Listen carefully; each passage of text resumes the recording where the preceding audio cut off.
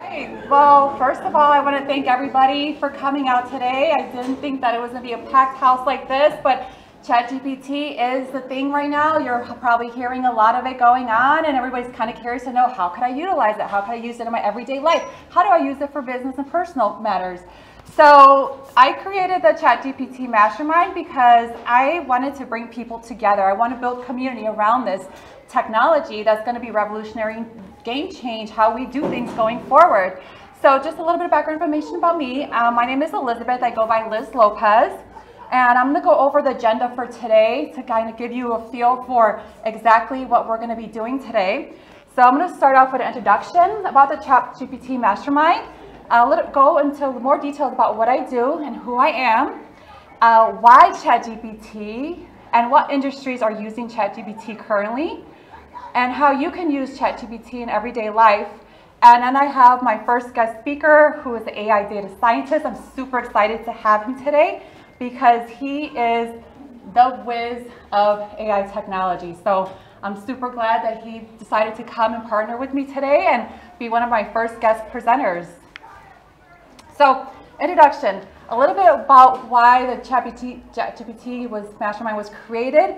I wanted to build community and bring people together that are like-minded individuals that are trying to find out efficient ways on how to be able to use this technology for everyday use.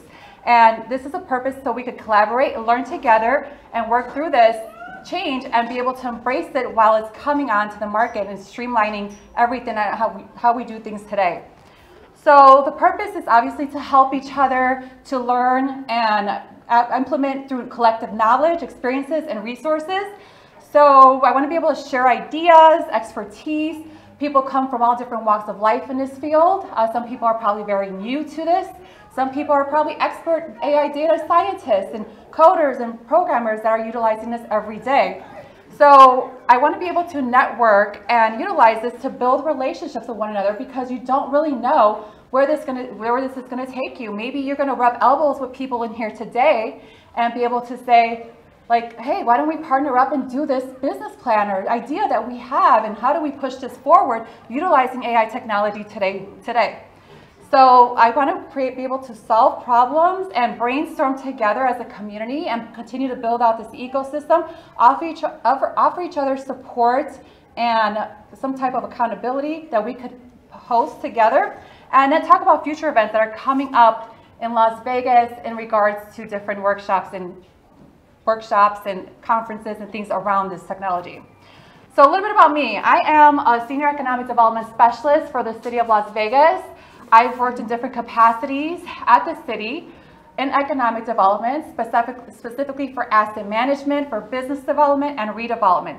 So my current role right now is to attract businesses to come to Las Vegas to diversify our economy. And that creates a workforce and it, it creates huge initiatives to be able to, to work together to build community to make life better. And so that's my current daytime job. And I'm just starting to do this on the side because I feel there's a lot of value in building community and working together. And how do we could push this to the forefront going forward? Um, I am a champion and Las Vegas ambassador for economic development, for business development, for real estate, for finance, for innovation, startups, and being able to push that from a government, government perspective forward. Because there's a lot of people that um, in government that maybe they maybe don't know the bigger picture and uses of things of how we could implement AI technology and tools into everyday practices. So I want to be that advocate and be able to continue to foster that ecosystem and be able to push things forward, not only on a personal level, but on a government standpoint as well, because sometimes government is a little late to adapt to things, right? So if I could continue to educate my leaders on why this is important, and be able to create this ecosystem. I mean, you, you see how many people are gathered here because we know that if we do not embrace this, we're going to get left behind. So this is the whole purpose of that.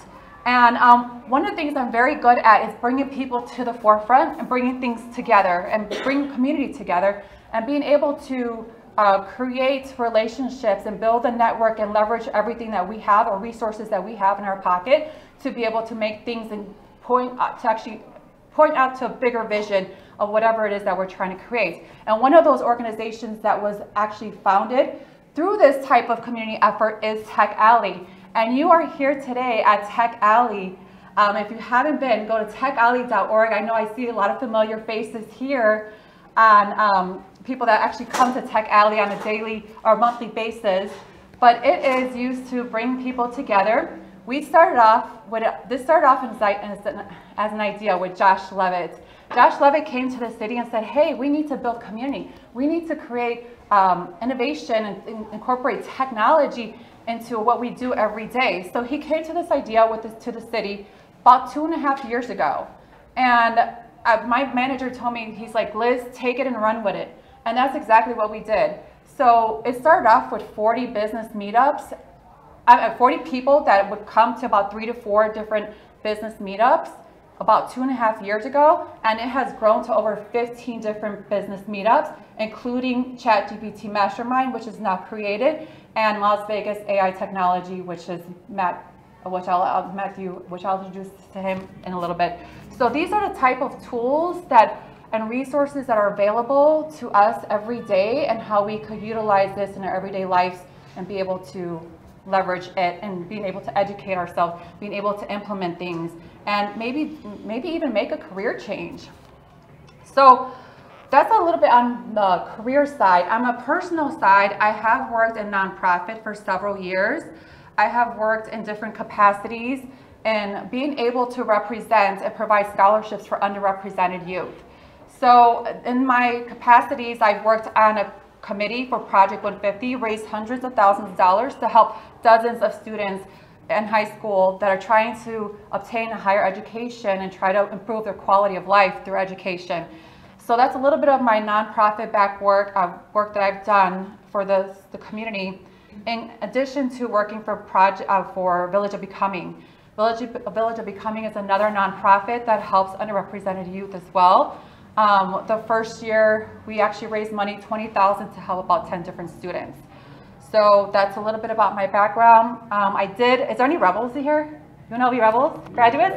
Go rebels! All right, so um, I'm a rebel at heart. I am a forward thinker. I like to push things. I like to move the needle. And I've always been like that ever since I was a child. Um, and I think that's unique, right? To, for a person like the, like the person with my mentality to work in government because I'm the, I'm the one that's going to be asking the questions is why are we not doing this? How could we do this better? How could we implement this into our everyday life and embrace this? So that's a big, huge of what I'm passionate about doing is bringing things to the forefront. Um, so I did receive my bachelor's in business administration with an emphasis in finance at UNLV, and then I went back for my executive MBA as well. So why ChatGPT? So it, as you may have heard, it is an OpenAI tool, and right now it's free for people. It's a natural processing language, and it's like basically having a research assistant at your fingertips. It's so powerful in what it could do. The research and information that it brings to the any you could ask it any question and it will research all information for you and spit it out to you depending on how you actually program the language. So um, you could ask it questions and you could have a conversation with it. It's almost like talking to an expert matter subject person that is in the field. You could ask, you could ask it to talk like an IT expert professional. And it's like we have to embrace this now or get left behind. And this is why it's important that you're all here and I appreciate you all coming out today.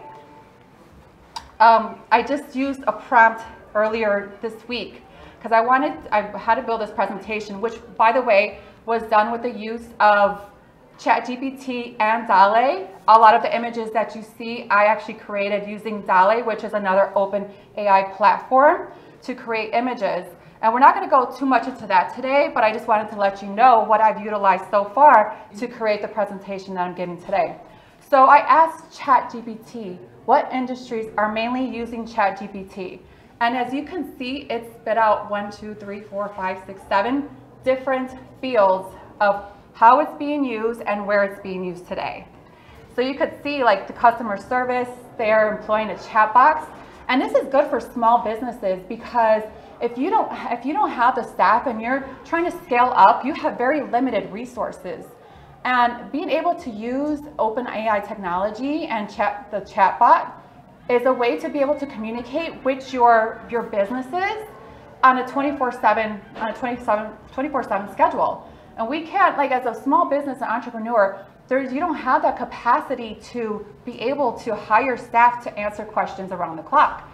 Um, so this type of technology will help in providing better customer service for any field of line. It doesn't have to be your own personal business, but it could be also for work. E-commerce, e-commerce is embracing this and they're actually interfacing the, they're, they're having interfaces with the customers and being able to find products for them. Etsy's using it, people on Etsy are actually utilizing this at this moment too. And it's being used for content creation and marketing. People are utilizing this in a different aspect than most. Um, you have influencers using this to create content for their social media. A lot of people on social media and people that write blogs are creating this today and being able to utilize this to be able to create content for them. Um, it's being used in healthcare. Healthcare has been, it's been integrated to telemedicine platforms for triaging patients, and it provides general health information as well. Um, finance, financial institutions are using it. Education, people are using, utilizing it to research projects, to be able to ask it questions and educate themselves as well. And entertainment, the AI has been, AI applied has been developing and, and being able to create stories using this technology. So I'm gonna highly touch on this, but um, most importantly, how can you use ChatGPT today? So I'm going to just basically go down uh, some prompt engineering tools that could be utilized to create a list to long to long write prompts. You basically create essays and emails and templates for you, complex problems, feedback commands like rewrite this essay for a fifth grader, modification prompts, reward this to sound like a finance professional or IT professional, and translate it to me for a different language. So we'll go into a little bit more of this live demo. I'm just gonna high, highly talk about some of this stuff. Um, you could use it to create an instructional guide. You could tell it to create a five-day meal plan using a paleo-based diet uh, with a 2,000 calorie count every day, three meals per day, and recipes and ingredients for, for this.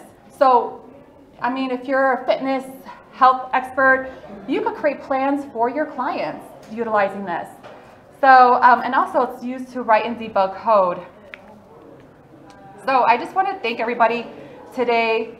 Please connect with me on LinkedIn. I'm always trying to build community to make life better. It's important for me. It's a, not only a career of mine, but it's a personal mission. Um, also, please sign up for the ChatGPT Mastermind. You could go ahead and scan, bar, scan this barcode right here, and it will take you to my LinkedIn account. I'll give you guys a second if you guys want to go ahead and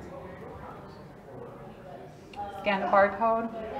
If not, please feel free to connect with me too afterwards. And, you, and if you could sign up for the Chat GPT Mastermind, it's very easy, it's simple, it's free. Just go to meetup.com and sign up for the Chat GPT Mastermind for any updates and events and other guest speakers that I'll be hosting as well. So with that being said, I want to go ahead and introduce my first guest speaker. This guy is brilliant. I am so fortunate to be able to connect with somebody like this. Uh, his name is Matthew Renze. He is an AI data scientist, an author, and a speaker. He's trained over 400,000 software developers and IT professionals to date. He is the president of Serenity Global, which is a 501c nonprofit focused on tech ed and underrepresented individuals. So a lot of our values definitely align. I'm very fortunate to work with him. He is currently in school for obtaining his master's degree in AI at Johns Hopkins University, and he will go ahead and provide the ChatGPT demo and Q&A, and I'm so happy to have him as a guest speaker. Let's give him a round of applause, please.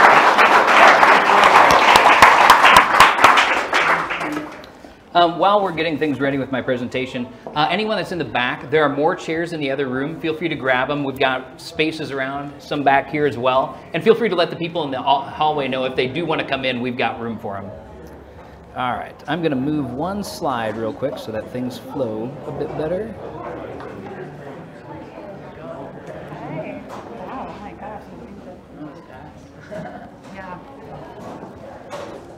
All right, so quick show of hands. Prior to today, who had heard of ChatGPT? Okay, that's almost everyone. Who has at least tried it once? That's almost everyone too. Who is using it every day, multiple times a day? That's a few people. Okay, so I am one of those people. I'm using it as frequently as I use Google search engine and constantly for tasks all throughout my day-to-day workflow. In fact, it is quite easy to say that this has fundamentally changed how I do work, and I don't see this ever going back, only going forward. In fact, I would say this is so profound in terms of its uh, impacts on my productivity and just confidence in trying new things because it reduces the risk of trying something new that it, I think it's safe to say that we have entered a fundamentally new era in computing. Like this is, I, I, hate to be a hype engine, but this is one of those times where it's necessary. Like this is as big as mobile phones, the internet, and the PC for me. Like the way I'm using this is so powerful, it's hard to even describe. But I'm hoping I can show you some of that here today. All right, so what is ChatGPT? All right, so it's an AI-powered language model. We already talked about that. Um, it essentially takes text as input and it produces text as output, but it does it in some pretty powerful ways. It was created by OpenAI, which is a research company that has been working on technologies like this for quite a while, and they're making some pretty profound improvements in other than just ChatGPT areas. GPT stands for Generative Pre-trained Transformer. Generative means that it creates new text from scratch. It's generating the text. Pre-trained means that it's self-supervised uh, on a bunch of text data before they start fine-tuning it. They send a bunch of data to it and ask it to do little tasks like What's the missing word here? What word should come next? And fill in the blank kind of things, which trains up the whole lower network so that they can fine tune it on the top with a couple of pretty clever tools. In addition, um, we, it's mentioned it's a language model, but this is what we call a large language model because of how big it is and how much data it's been trained on. Uh, something like 8 million documents, which is roughly 10 billion words, have all been fed into the system and used as the training set for it which leads to a model that has 175 million parameters. And it's hard to describe what parameters are if you're not familiar with the you know, technical terms from uh, machine learning, but we can kind of roughly assume that a parameter is kind of like a neuron in a brain. That's a really crude analogy, but the more parameters we have, the more powerful the model can be, and these models keep getting bigger and bigger as we go. This wasn't the first of these iterations. We started with chat or with GPT-1, GPT-2, which is where I first started using it. GPT-3 came out, which was even more powerful, and then GPT 3.5, which ChatGPT is based on. And just this week, GPT-4 came out. I'm happy to announce it is as good as they're saying it is. It's able to do some tasks that I just can't do with GPT-3. So I've been experimenting with it all week long, essentially seeing where its pros and cons are. And if you'd like, we can see a demo of that as well too. So what can you do with this thing? I mean, literally, the list is almost endless. Search, Q&A, text generation, summarization, interactive like ideation sessions, style transfer, language translation. You can be an interactive teacher, which is how I'm using it quite frequently. Uh, doing troubleshooting, both like on code or with technical devices. Uh, for example, it helped me fix my LG washer because a weird error code showed up and I couldn't find the manual for it. And code generation. I'm using it all day long to help me write better code faster, much faster. All right, so let's see a quick demo. Um, I've got to switch my monitors here so that I can see what you're seeing, which will just take a second. Is it possible to drop the show uh, yeah, that yeah. one we can. I think we can do this one without messing up the video feed, but I don't know for sure.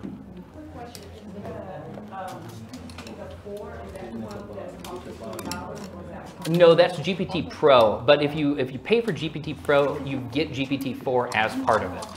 Uh, but you don't get access to the GPT, GPT-4 API, which is what programmers use to talk to this. Um, you have to be part of the uh, beta for that. Okay, that did. Uh, one second.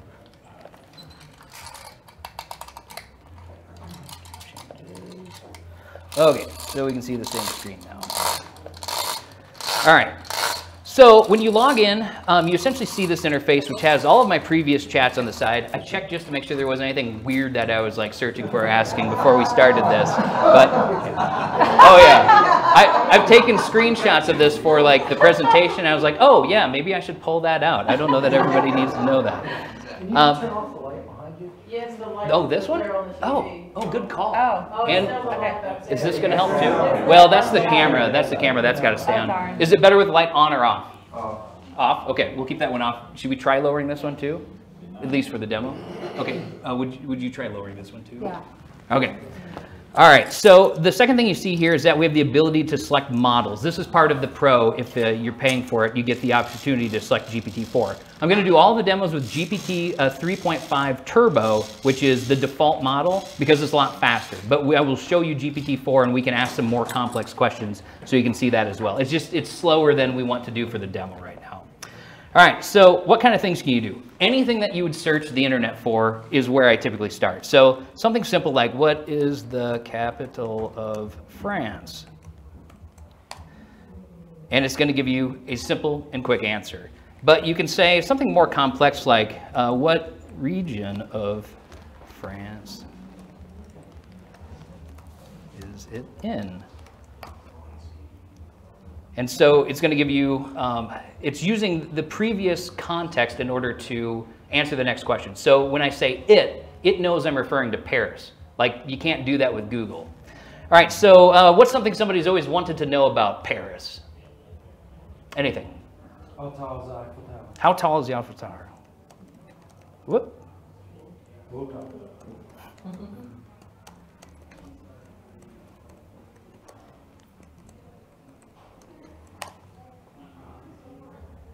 All right. So now we can ask something even more complex, like uh, how tall is that in, we'll say, SpaceX rockets, and see what happens.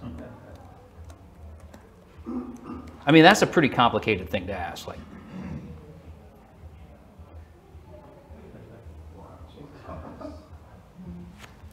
yeah. I mean, that would have taken a little while to do with Google search. Okay, so in addition to essentially just using it to search for factual information, we can use it in a questions and answers kind of interactive session. So like, um, what should, sorry, should I talk about during my present, oh, on large language models at Tech Alley this week? I didn't ask it this. I already knew what I was going to talk about. So, and it's giving me essentially an outline of the, the key topics that it thinks you should mention in this presentation. Yeah, it's uh, effing cool is the, the right response. It can also do your marketing and branding, like Yeah. type something out and you put in some sexy words. Yep. And it'll come out and it'll. All right. Full, Let's try something Oh like that. God. All right, so write a quick uh, abstract for this presentation. Whoops, that's not a question mark. Uh, sorry, I'm not used to typing on my laptop keyboard. I have like a contoured one at home. Okay, so we're going to ask it to write a quick abstract for this talk. So I mean, this seems pretty good. Presentation provides comprehensive overview of large language models, artificial intelligence like GPT-3 and BERT. All right, so let's shorten it first. So this is on any browser, or how do you? Yeah, all you have to do is uh, sign up at uh, sign up at OpenAI. All right, so we're shortening the, the topic here. All right, so now it's about half the previous length. Now, whoops, meow. Now make it sexier. I hope this doesn't do anything that offends him. This cutting edge presentation delves into the world of large language models. AI powerhouses revolutionizing the way we interact with language. Explore the intricacies of models like GPT-3 and BERT. Get ready to be mesmerized by the potential. So, I mean, like in terms of marketing, and I could even say improve this for SEO with these keywords, and it would do that. So it's pretty powerful with these kind of things. But not only can we do this, we can ask it for like ideas like, uh, all right, so give me an outline for this talk as a short list of bullet points for each main topic. And so this is one of the ways that I use it. When I'm trying to organize my thoughts, I will I'll send it to like a research paper. I'm like, just give me the key ideas from this. Give me a little abstract. And I typically do it with bullet points because they're just easier to read. And then I can say things like shorten each bullet point. And it's going to do that too. Matt, can you tell us what prompts you're typing because we can't see the screen? Oh, you can't? Oh, I'm sorry. Uh, let's see if we can blow this up a bit bigger. Um, let me close this down here, go into full screen mode. Uh, yeah, I can try. It's just it's a lot of. Oh, just the prompts. Okay. just tell us what you're prompting, because we can't see that. Okay, I, I'll do that. Let me get out of this then real quick, F11. Okay, all right, so, you know, that's essentially shortening each of these bullet points, so it's just like two to three words essentially, which is quite useful. And then I can say, you know, well, let's make this about the ethics of AI instead. So make this about the ethics of AI instead. Uh, I'll say AI for large language models, for LLMs, and it'll figure out that that's the acronym instead. All right, so make this about the ethics of AI for LLMs instead. So now it's changing the, the topics here to talk about the ethical considerations, current initiatives, and the future of this technology. So I can go through and I can iterate like this with a, a creative session where me and this machine are coming up with ideas together and I'm helping it refine its ideas and it's helping me refine my ideas just like a co-pilot. Question? Um, so is it something where you have to copy and paste the information, or can you create a document for you? There's different ways to do it. So if it knows about that text online, it already has it in its uh, in its language model, and so I can say, you know, give me a quick summary of this paper on, you know, uh, uh, attention is all you need, which is a page, uh, an article about transformers, very popular, and it'll essentially give me that outline. If it doesn't have that document, or sometimes it doesn't give you essentially a good summary of the document because it's not perfect, um, I will take each section of a research paper and I will put it in one at a time, and I'll tell it uh, summarize this as a list of uh, short bullet points um, for each key idea. It'll give me a list for each section. Then, just as of this week, I take that and I move it into GPT-4, just the outlines, and I say shorten this, simplify it, and uh, make it as short, remove redundancies, and make it as short and as simple as possible without losing uh, key information. Because GPT-4 does a much better job of that than GPT 3.5.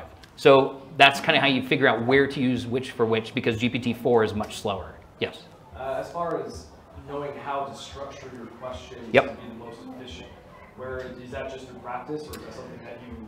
So a couple answers to that. Um, we refer to this as prompt engineering. Um, it's kind of like speaking to the computer in English, like you're coding, but you're coding in English. And so you can ask it very basic questions with just natural language, and it'll give you good answers. But when you're trying to do much more complex things, you have to get really good at figuring out how to uh, tell it what you want to get out of it, and then iterate on it. Because the first time it may not give you the right answer. By the third time, if you keep pointing out where it's wrong or what you specifically need, it'll usually give it to you. But in terms of like prompt engineering, I'm using this for like research at Johns Hopkins. So I will actually build these very uh, well-crafted prompts where I'm essentially providing it with stuff in the form of like columns of data and how that maps to real language, uh, what the target variables are, what their parameters and context is. You know, here's this, an example of what you should see coming in. Here's an example of exactly what I want it to look like coming out. And then I kind of fine tune the prompt. Here's you know exactly where I would put that information it needs to decode.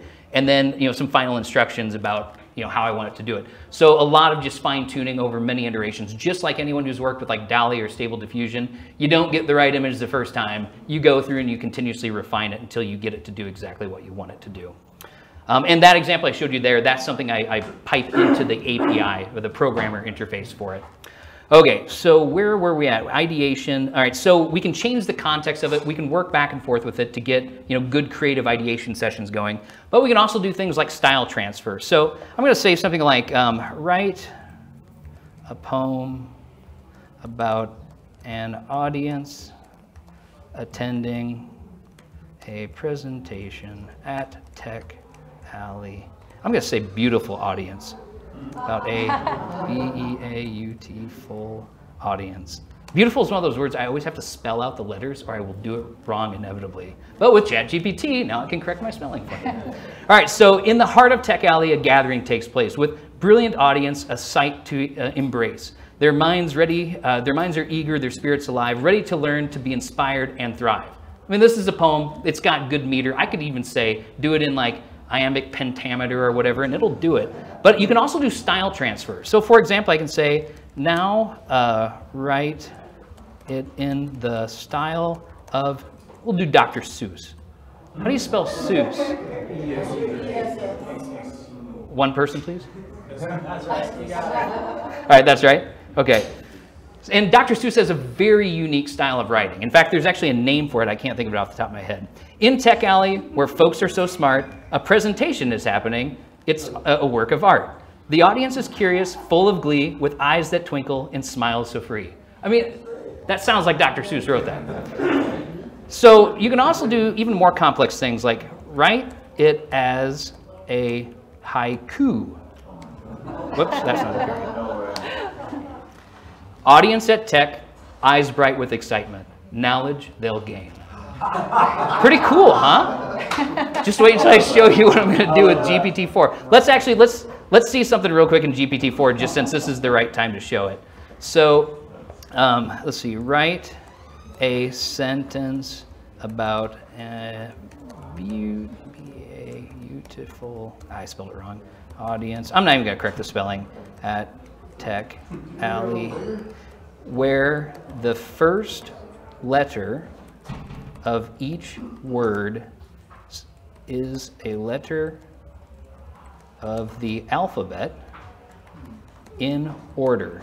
I could have even said uh, absidetic and it would have figured that out too. So let's see what we get.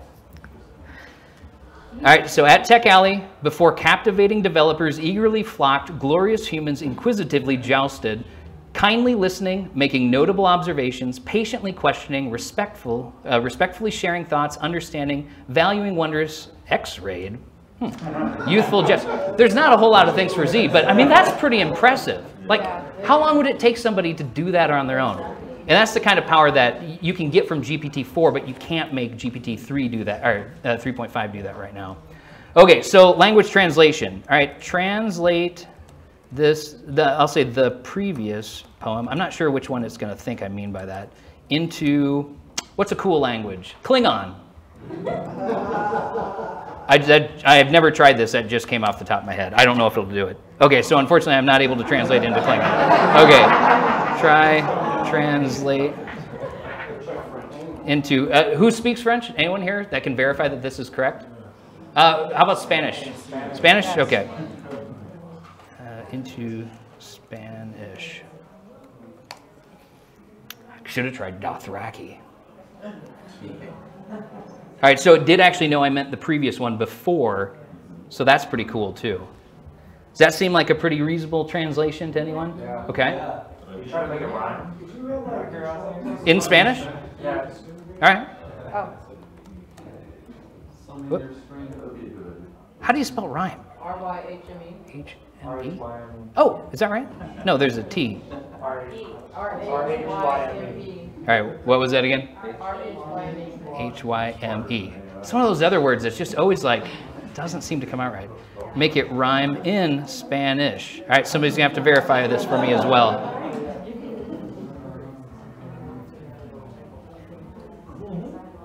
Is that working? Or is that not even close? Yeah? Okay, cool, cool. All right, so um, let me start a new prompt here.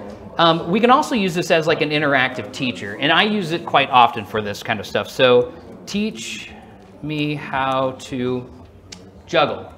I'm actually learning how to juggle again right now. I learned in college and then I kind of forgot, so I'm learning how to do it again. So, start with one ball, add a second ball, practice the pattern. And this is exactly how I do it too. Keep practicing. I just juggled the two balls and then try different objects once you're comfortable with juggling three balls. So, I mean, that's the steps. Yes?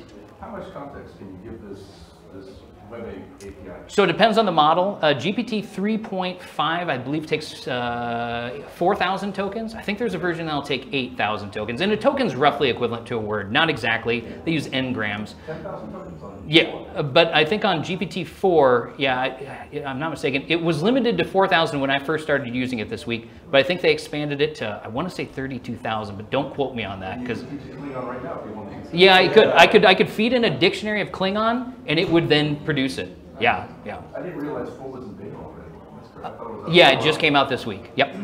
Okay, so um, what's something else somebody wants to learn how to do? Oh, you should zoom in on the screen, by the way. Yep. Should someone be suspicious of something free? Uh, yeah, because you're um, you essentially are the product. Um, it's no no secret that OpenAI is going to use this data in order to improve their models. Whether they're going to use it to market to you, probably not. OpenAI is a unique company in that it's a uh, cap limit or uh, yeah capped profit company. So they exist to create this research to get it out to the world, but they are not a for-profit company in the normal sense of it. They take investments from big companies, you know, to, to essentially do what they're doing, but they're not out there to start marketing and stuff. If they got sold or something, which I don't know that they can under their charter, um, maybe, but right now they're using your data to refine their model to make it better, and it it's that's how they do this essentially using anytime i say no that's the wrong answer or no not exactly what i'm looking for that is data that's going in to train the next version of this model and now that they've got oh god it's it's the fastest growing web service in the history of the internet right now they've got more people feeding data into this than we've ever had so it's going to get good real fast yes Do you know how ChatGPT affects SEO?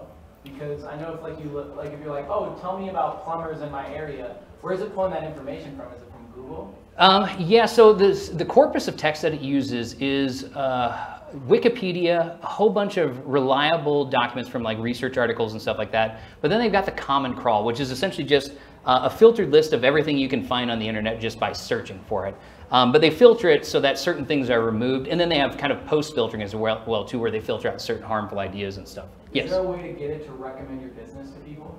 Um, well, you can use it to generate things that would help your SEO, but keep in mind that Google's already got, I believe they exist now, models that will detect text generated by this and will downscore you. And we don't know that's not transparent yet. Um, whether they're able to detect all kinds or whether the new models are improving faster than they can keep up. There's an arms race going on right now. They're trying to compete against OpenAI, so they want to like. Potentially. I mean, it's clear that um, OpenAI is more aligned with Microsoft than it is with Google, but Google has its own internal products that are doing the same thing that could actually be way better than anything we've seen so far because the LaMDA E, or Palm E model, which is based on LaMDA and in embodied context where it's actually a robot is using it, you can speak to the robot and it will understand what you're saying in natural language and it can execute tasks according to that. So do prompts using your voice instead of text, is what you're saying? Yeah, yeah, and you could do that right now with a, a bit of a hack with.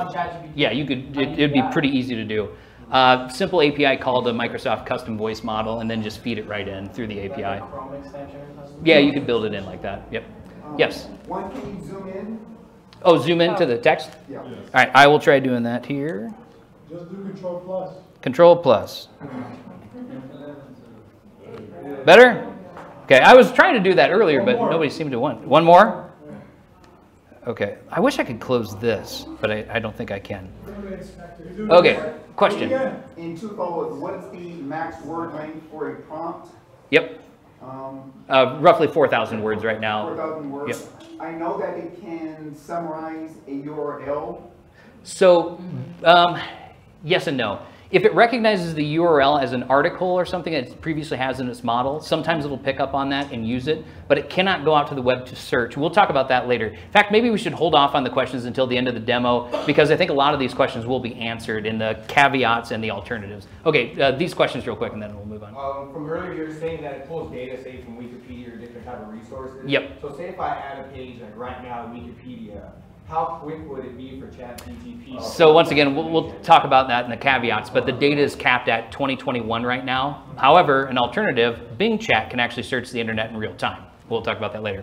Okay, so we'll keep moving on with the demo. Um, so interactive teacher, is there anything else anybody wanted to learn how to do here real quick? That sounds like it's a bit complicated. Yes. Did you ask it how to hide the sidebar? How to, all right. How do I hide? I don't think you can. Well, you could technically hack it through Chrome Developer Tools. Sidebar on GPT-3, no, ChatGPT. GPT. GPT. To hide the sidebar, you can simply click the Hide Sidebar button located at the... Maybe it's hidden now that I'm zoomed in. No, I'm not seeing it. Maybe it got removed. If you press control go, Control H? The, Yeah, that's what I was going to say. I could do it through the Google uh, developer tools or Chrome developer tools. I'm not going to worry about it though. We're almost done with the demo for this part anyways. Okay. I think you could draw, drag it over. Try to drag it. Yeah, I can probably make that work too. Oh, look at that. To jump over. The top now. Oh, that's interesting. So we'll just leave it like this. I'll, I'll expand it a little bit. Thanks. Oh, gotta be careful. It's tricky. Okay, so uh, troubleshooting. So um, uh, what do I do if the red check engine light is, whoops, is on Go get your car in my Toyota, Toyota Prius. I don't drive a Prius anymore, but I used to. Okay. Oh, that's weird. Now it's changed how the enter key works that I zoomed in.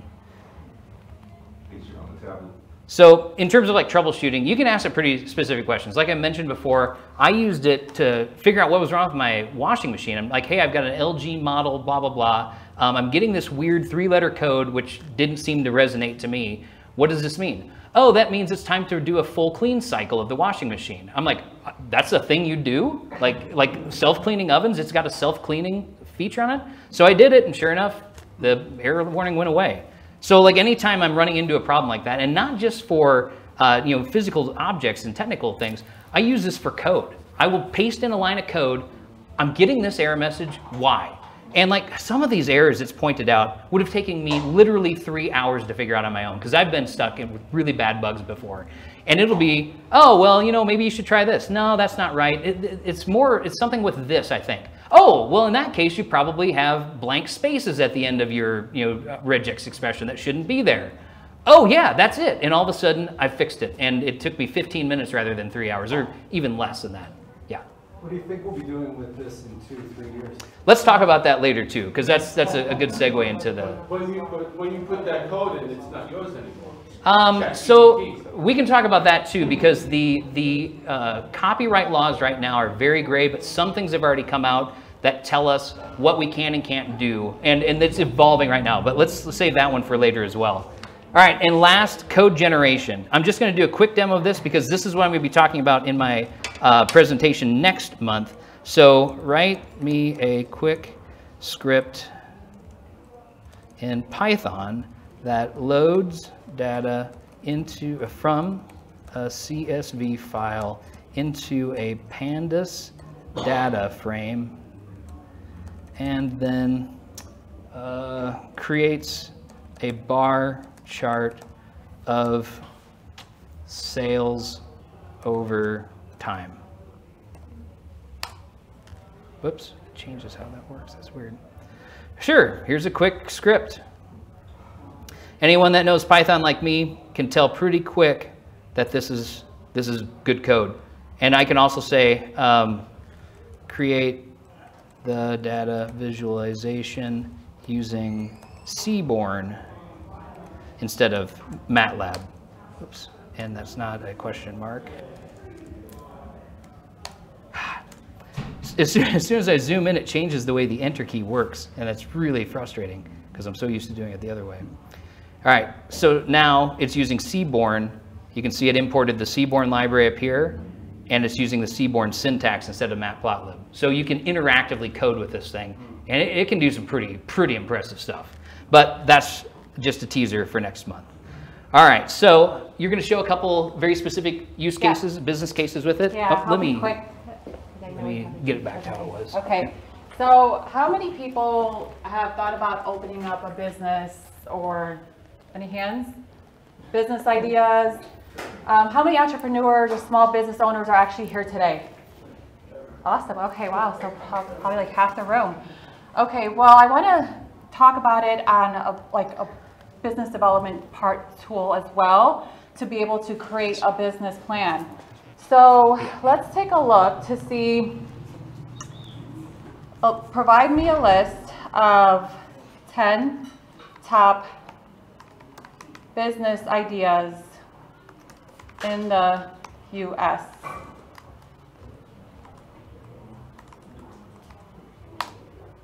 Yeah, you have to hit the, the There it goes. icon now.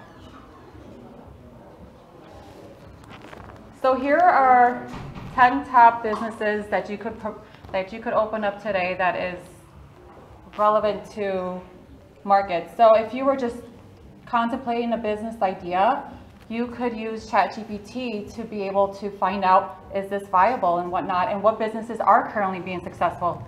Uh, let's see. So let's see what it actually provided. So okay, top 10 list of business ideas, an e-commerce business that's really huge right now, especially after COVID happening. Uh, there's a lot of conversion into e-commerce, food trucks, online learning platforms. That's a really big one, and that's something that you can actually utilize ChatGPT for. Health and wellness, I think I kind of gave that scenario about how do I build a customizable plan using a paleo or uh, keto-based diet for five days, three meals a day, and that's something that you could plug in and create a meal plan for yourself. Um, social media management, people, uh, influencers are using this every day to create content for themselves. Eco-friendly products, mobile apps, or virtual events, pet care services, cleaning services. So you could see, like, if you're trying to generate an idea, you could utilize this to implement on your business plan. So now I'm going to take one of these. Let's let's take clean cleaning services. Uh, create. Oh. If you want, I can do the typing for you. I mean, it might be easier. It's my keyboard, okay, and you're not used yeah. to it. Okay. So let's create a business plan. Create a business plan, a four-page business plan okay. for cleaning services.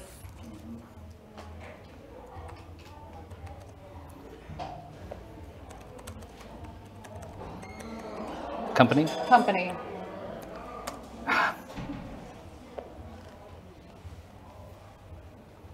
So as you can see, it's created an executive summary, a company overview, a market analysis, a marketing strategy behind this, operations plans, financial plan, and a conclusion.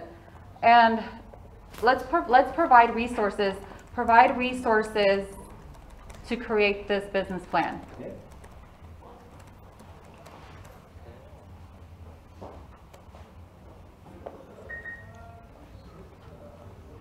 So these are, because I work with a lot of entrepreneurs and I'm looking at this right now and SBA, SCORE, the, the local chambers of commerces, these are all organizations that you could utilize to help you build your business plan. And a lot of these services are for free. And a lot of people are not aware that the SBA, their services, the Small Business Development Center, they, you could actually have an advisor advise you and guide you um, in this business process if you're building out a plan, if you need a marketing plan, if you need analysis reports.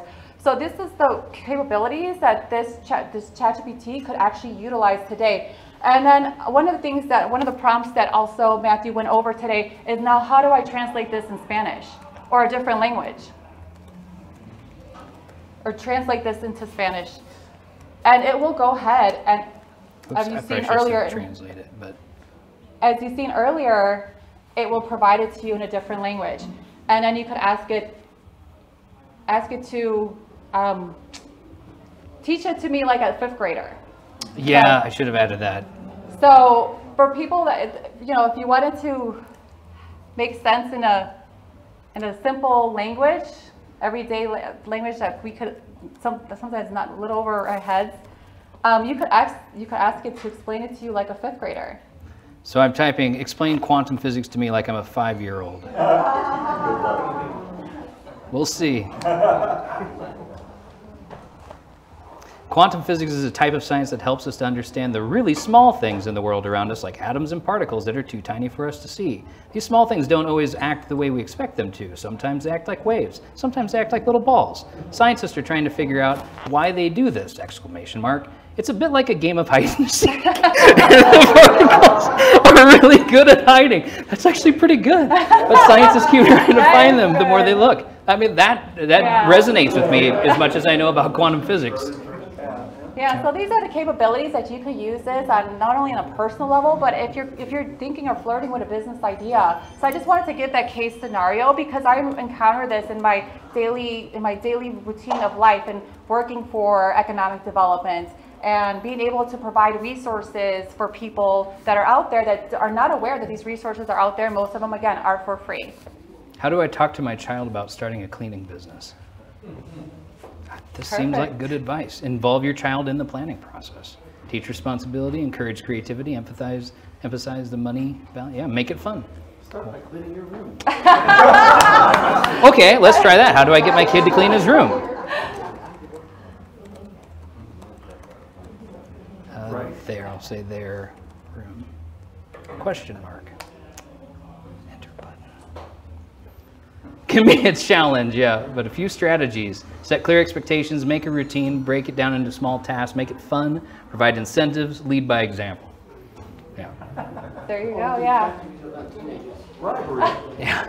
So these Bribery. are just different case scenarios, and I know you have a presentation to give to us. So I just want to run those ideas by you because I know a lot, half of you in the room look like you're either small business owners and entrepreneurs or have an idea that you want to flirt with. So this is a great tool to utilize for that. All right, so uh, to wrap things, well, not wrap things up, to continue here, I just want to talk about, like, this was the awesome stuff that we saw, but it's not just all sunshine and rainbows here. There, there are some definite things you need to consider.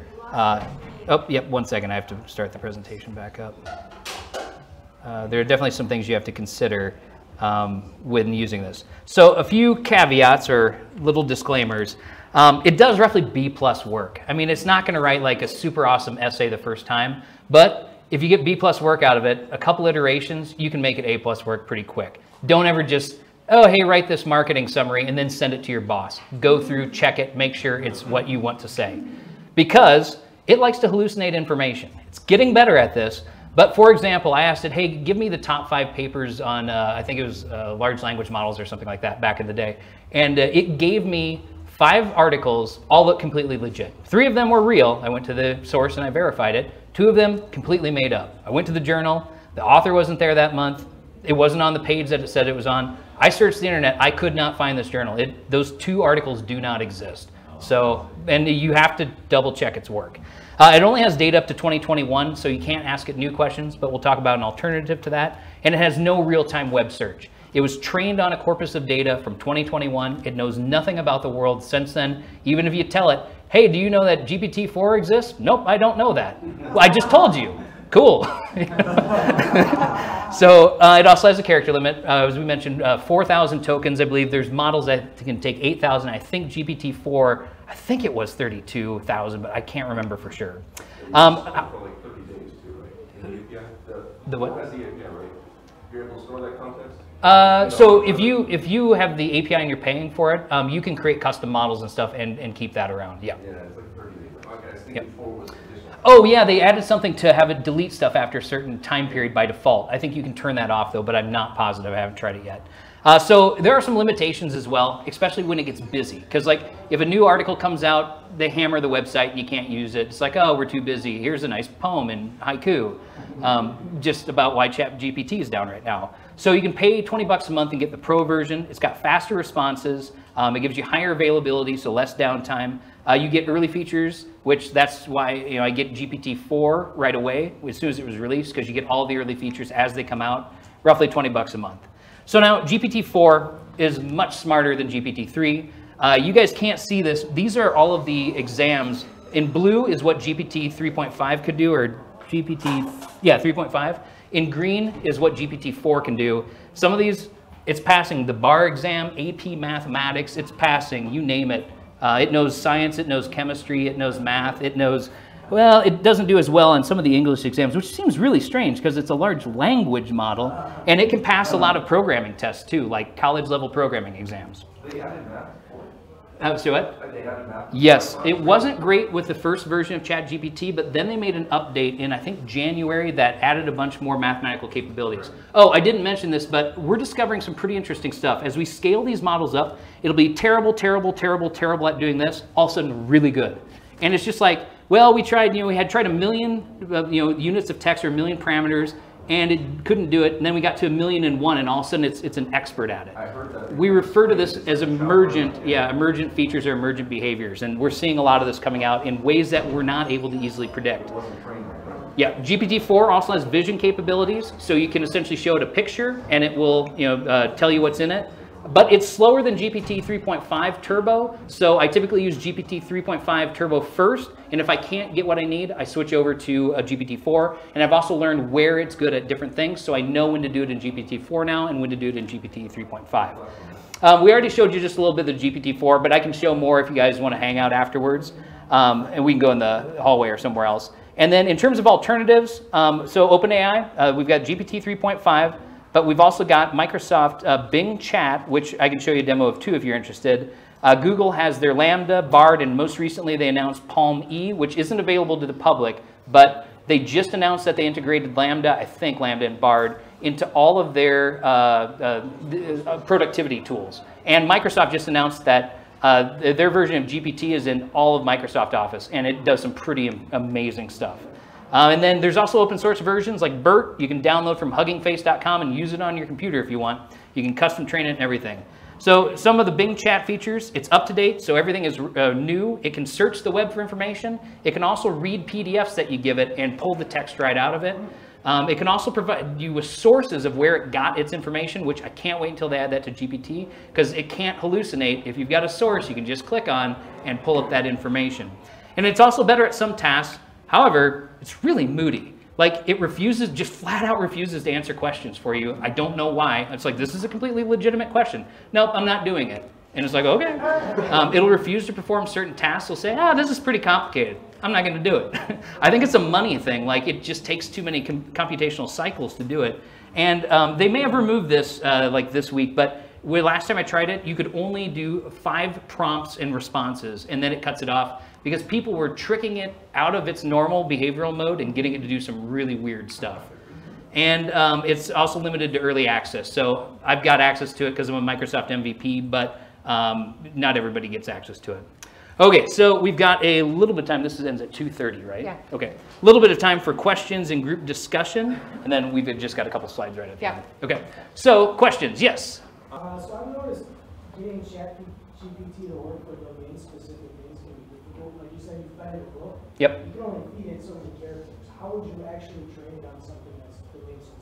So great question as well. Um, I mentioned that you have, if you have access to the API, which you can get if you have a developer's license for it, you can train custom models where you can feed it way more than the limited number of characters as part of a, a prompt response set of pairs. So say for example, you're trying to, uh, what's a good example? Um, we'll just, I'm not recommending anybody do this, but say you're trying to use it for medical diagnostics. You could essentially give it a list of all of the, you know, the, the data for the patient and say, here's what the diagnosis was. Here's another example, here's what the diagnosis was. Give it hundreds, if not thousands of samples, though oftentimes three samples is enough to, for it to do some pretty impressive stuff. Um, it will essentially learn what the inputs are, what the outputs are, and learn how to speak in the language of the doctor's diagnostic criteria. And like I said, don't do it for this, but in the future, this is probably what it's going to look like. You'll have a doctor assessing a patient with the same data that an AI is using. They will both come up with their diagno- diagnosis and their recommended treatment protocol. And then if they agree, they'll most likely move forward with the treatment protocol. If they disagree, another do- human doctor will be uh, brought in, not knowing who made which decision, to assess it and then act as a tiebreaker. Yes? Any guidance on how to ask open-ended questions versus kind of biased or, you know, kind of leading the witness?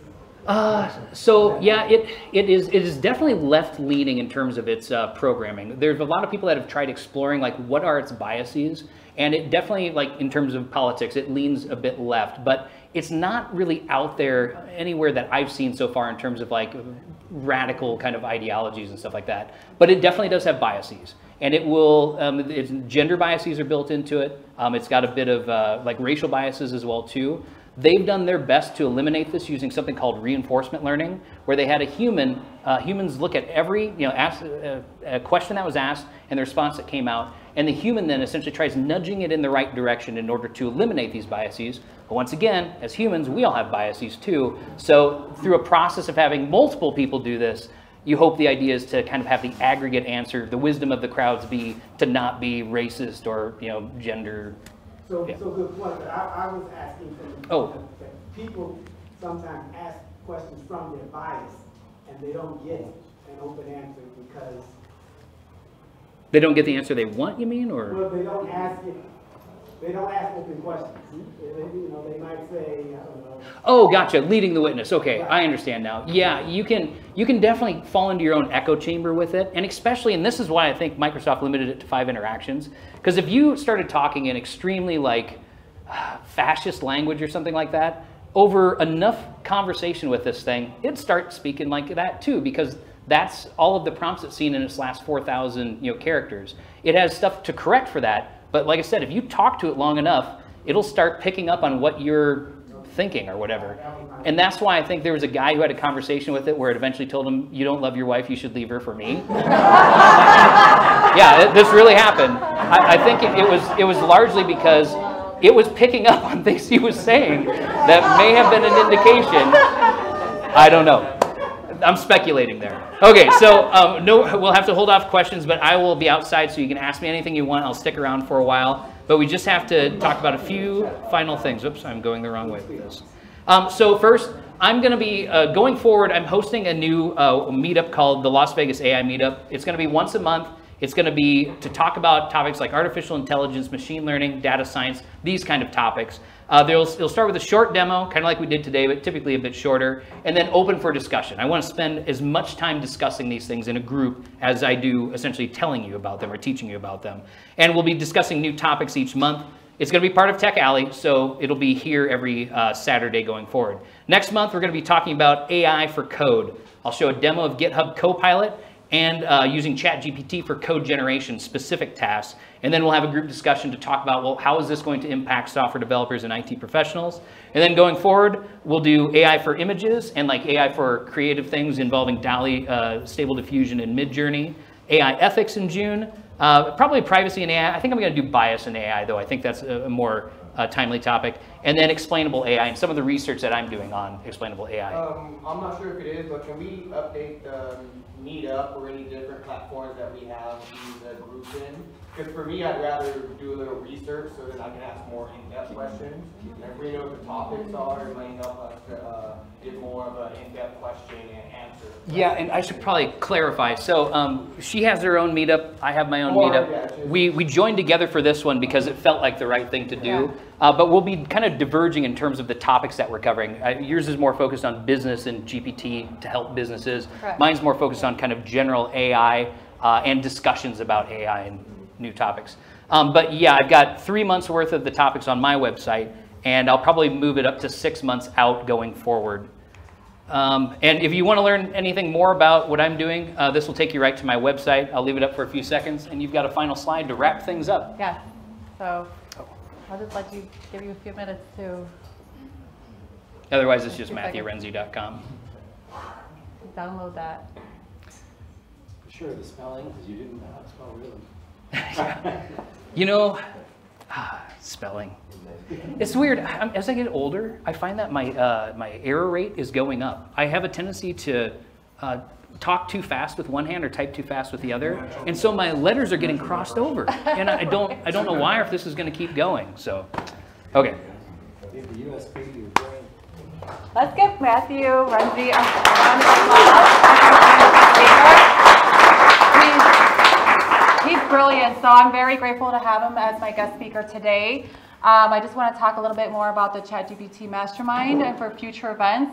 This is going to be a continuous meetup as well, talking about personal and business aspects of life as well, and being able to help businesses and entrepreneurs that are trying to utilizing trying to utilize this tool as well. Um, so there's going to be networking and social events. There's going to be workshops that are going to be held in the future, guest speakers that are going to come to the mastermind as well, talking about different subject matters. Uh, we'll have panel discussions, and hopefully one day we'll hold a AI summit for two days in Las Vegas. So I would love to make that happen and be able to create that momentum here for Las Vegas and our community as a whole. Um, not from a career perspective, but a personal perspective, because this is going to revolutionize, again, how we do business, how we interact with each other, how we're able to create efficiencies and be able to use this tool today and be able to be prepared for use, utilizing this tool today, because it's only to it's only to spring forward here. And so, um, thank you all for coming out today. I want to thank Tech Alley. If you guys have not, if you have not been part of Tech Alley, it's a monthly business meetup. There's about 15 different other business meetups held here in our district in downtown.